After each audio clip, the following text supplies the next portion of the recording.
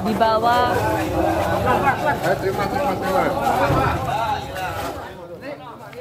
Peti mati yang berisi jenazah Iriana, korban kebakaran pelumpang dibawa para kerabat ke tempat pemakaman keluarga di kawasan Tanah Merah Pelumpang Koja, Jakarta Utara pada minggu sore.